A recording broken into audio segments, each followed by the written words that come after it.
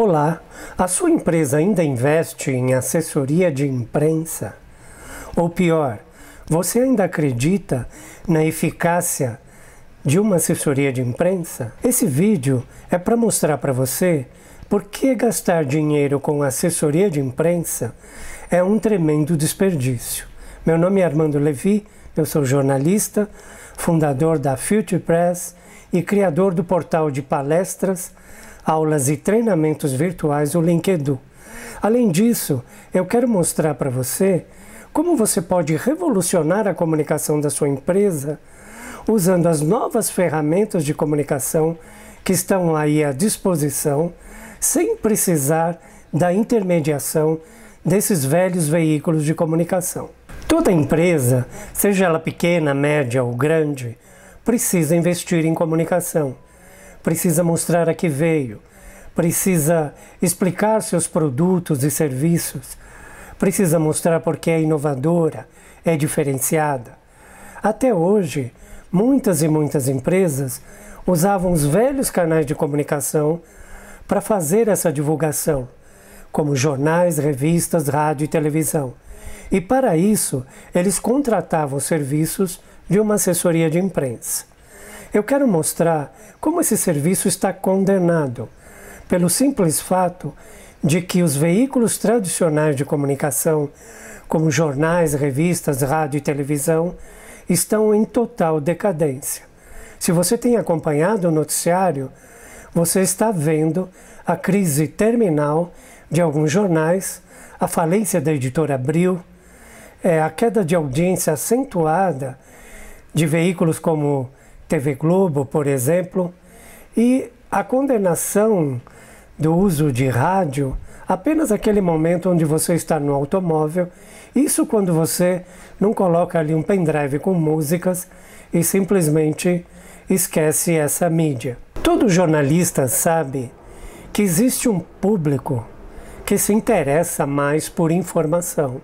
Nem todas as pessoas, por exemplo, assistem um telejornal ou compram um jornal ou uma revista para se informar. Muito pelo contrário. É, essa opção pela informação, essa busca pela informação, de fato, é apenas de uma pequena parcela da população. Essa população que investe em informação, que busca informação, faz isso normalmente em função do seu trabalho, em função de necessidades de informação específicas. Até pouco tempo atrás, essas pessoas usavam veículos de comunicação tradicionais e algumas até assinavam publicações especializadas. Desde a emergência da internet e das novas mídias, esse pequeno público que busca informação ativamente começou a abandonar as mídias tradicionais de informação e migrou em massa para ferramentas de busca como Google, como YouTube, blogs especializados e toda informação virtualizada, como e-books, por exemplo, que está à disposição dessas pessoas. Uma pequena parcela ainda assina publicações na internet e busquem conteúdos mais especializados em função de necessidades específicas. Então, o que a gente percebe hoje é que esse pequeno público que consome informação de uma maneira é, continuada migrou totalmente os seus interesses para a internet.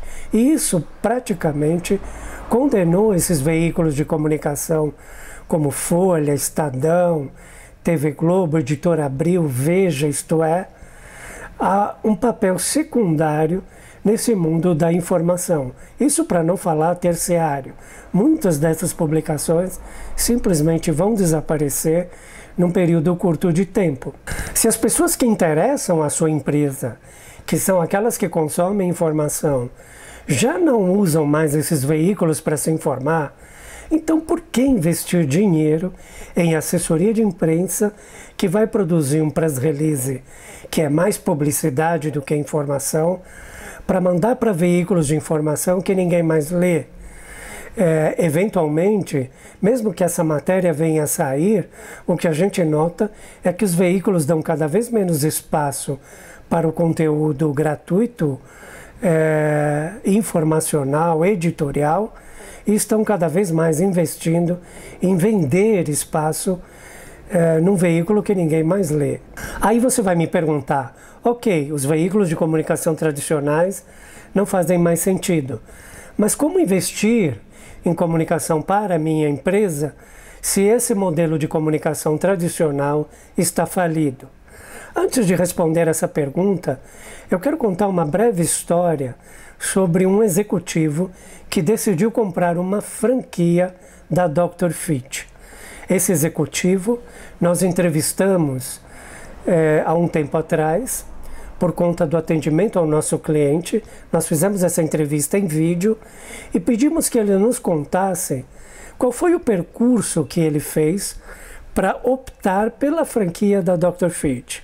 Esse executivo foi demitido de uma empresa de autopeças depois de 25 anos de trabalho e ele optou por não voltar mais ao mercado de trabalho como diretor e sim ter uma franquia.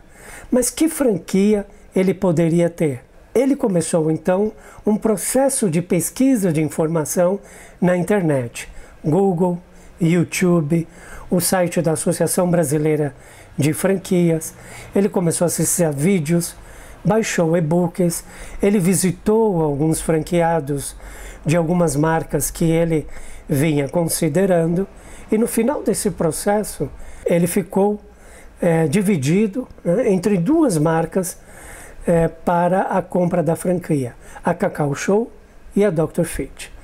É, em função de visitas a franqueados, ele percebeu que o negócio da Cacau Show tinha uma certa sazonalidade, ou seja, as pessoas compravam mais bombons e chocolates apenas em determinados períodos, como Dia dos Namorados, Dia das Mães, ou final do ano ou Natal. Já o negócio da Dr. Fit parecia não ter esse problema de sazonalidade e, pelo contrário, parecia ter um potencial mais promissor em função mesmo do envelhecimento da população e da necessidade de cuidados específicos de saúde para os pés.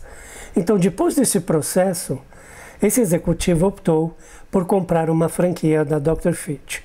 Essa pequena história nos mostra como as pessoas que consomem informação estão usando os veículos de comunicação hoje para tomar decisão. É esse o público que interessa a sua empresa. Observando esse executivo, nós percebemos que em nenhum momento ele optou por assinar um jornal ou uma revista.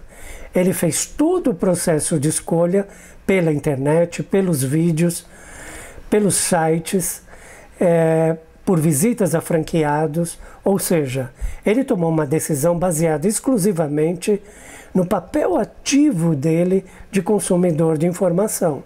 Em vez de esperar que os jornais publicassem conteúdo sobre franquias, por exemplo, ele foi atrás dessa informação. E é isso que caracteriza o público consumidor de informação nos dias de hoje. Eles são proativos, eles querem acessar o conteúdo de interesse no momento em que interessa a eles e não quando um veículo decide publicar essa informação. Você percebeu a mudança drástica no cenário de informação e comunicação? Pois é, muitas empresas não perceberam ainda e seguem investindo em assessoria de imprensa para falar com jornais velhos e carcomidos que não conversam mais com aquelas pessoas que buscam informação para comprar produtos e serviços. Agora, então, eu vou responder aquela sua pergunta: como mudar? O fato é que hoje você, a sua empresa, não precisam mais dos veículos tradicionais de comunicação. Vocês não precisam mais disso. Isso está condenado ao fracasso. Vocês têm que assumir, sim, um papel ativo na produção de conteúdo sobre a sua empresa, o seu negócio, os seus produtos, os seus serviços, para disponibilizar na internet nos mais variados formatos: blog, vídeos, conteúdo para redes sociais, entrevistas especializadas, entrevistas com clientes, enfim, todo um material que pode ser produzido por uma empresa que percebeu essa mudança no modelo de comunicação. Muitos empresários me dizem: ah, mas para eu contar com esse tipo de serviço, eu vou precisar contratar uma série de empresas que façam vídeo, que façam posts, que façam imagens. A Future Press, desde 2007, optou por concentrar toda essa produção de conteúdo nos diferentes formatos, justamente para atender clientes que perceberam a mudança no cenário da comunicação. Então, em vez de gastar dinheiro com uma assessoria de imprensa que vai tentar publicar uma informação da sua empresa num veículo de comunicação que ninguém mais lê ou acessa, invista numa empresa que pode criar um conteúdo tridimensional em vários formatos para diferentes mídias, justamente para alcançar esse público que consome informação e toma decisão a partir disso. Se você quer de fato colocar a sua empresa nesse novo mundo da comunicação, é hora de tomar essa decisão. Um abraço e estou à disposição para mostrar como sua empresa pode fazer isso por um custo muito menor do que o que você gasta com uma assessoria de imprensa que já é passado.